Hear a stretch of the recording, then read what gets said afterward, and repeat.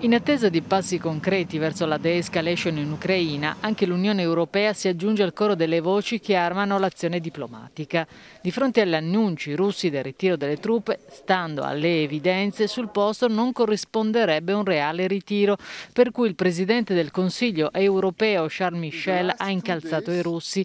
Negli ultimi due giorni la Russia ha fatto delle aperture, adesso sollecitiamo Mosca a compiere passi concreti e tangibili verso verso la de-escalation, perché questa è la condizione per un dialogo politico serio. La diplomazia non vince se dall'altro lato si ricorre alla forza.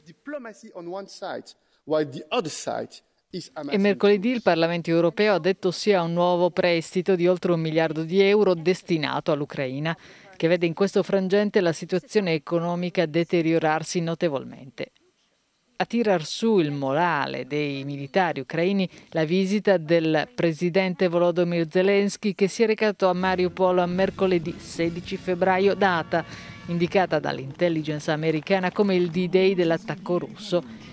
Il timore di un'incursione militare russa qui è ancora vivo. Di fronte ai militari ucraini il presidente però ha dichiarato non abbiamo paura di niente e di nessuno, siamo pronti, saremo pronti a qualsiasi attacco che avvenga domani o anche più in là. Dal lato russo si continua a sostenere che il ritiro è iniziato e che terminate le esercitazioni al confine con l'Ucraina non rimarrà un solo soldato russo.